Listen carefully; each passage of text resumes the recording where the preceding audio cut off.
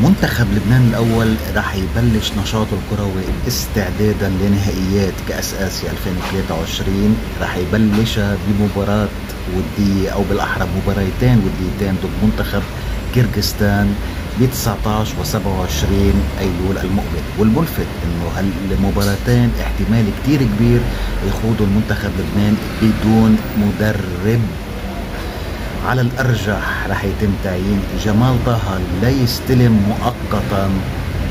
منتخب لبنان ما بعرف شو هالتخطيط هيدا. شو هالفشل الذريع من بعد يعني ما منتخبنا وصل لنهائيات كأس آسيا؟ شو شو ناطرين ليعينوا مدرب ويكون في خطة طويلة الأمد لحتى منتخب لبنان ما يروح يتبهدل بكأس آسيا؟ يكون عنده مدرب. ما بعرف ليه تم الاستغناء عن هذا الشيء. صحيح نحن انتقدناه إنما كان أفضل من المدربين اللي إجوا دربوا بالفترة الأخيرة. شو بده يحكي الواحد؟ يحكي عن الفشل الذريع المتواصل لإدارة منتخب لبنان ولا اتحاد اللعبة. ما معقول يعني منتخب يتحضر بكرغستان يلي آخر مباراة للتذكير آخر مباراة جمعتنا مع هذا المنتخب كان 2016 سنة 2016 وتعادلنا فيها سلبا.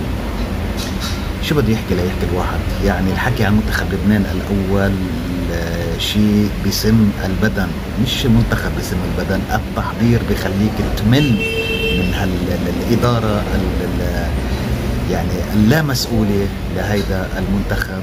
فعلا حرام عنا منتخب يعني الكل ناطر المنتخب يسافر على نهائيات كأس آسيا ليقدم مستوى مشرف. عم نشوف الباسكت قد إيه عم بتشرفنا. فخلوا كرة القدم كمان تشرفنا وتفضلوا عينوا مدرب كفو جديد وتفضلوا اهتموا بعد بهذا المنتخب. وعملوا له برنامج مدروس ليكون في يعني يطلع يمثلنا ويشرفنا.